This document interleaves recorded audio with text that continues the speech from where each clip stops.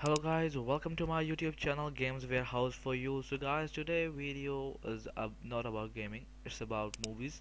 So guys, today video is about that how to download Venom 2018 movie. So let's start. First of all, what you have to do is to copy that link which is also given in the description and paste that in, link into your browser search bar to proceed on the page. After proceeding on the page you just have to scroll down and you will get about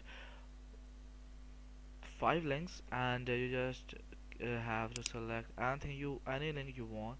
But I recommend you to use server 3 two links of server 3 so first link I will go, uh, I'm gonna select like this one.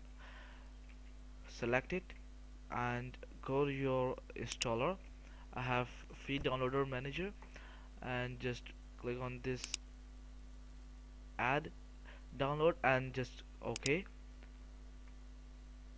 And uh, now just click on start downloading so it will start downloading your movie and now your uh, program is downloading. And for now goodbye guys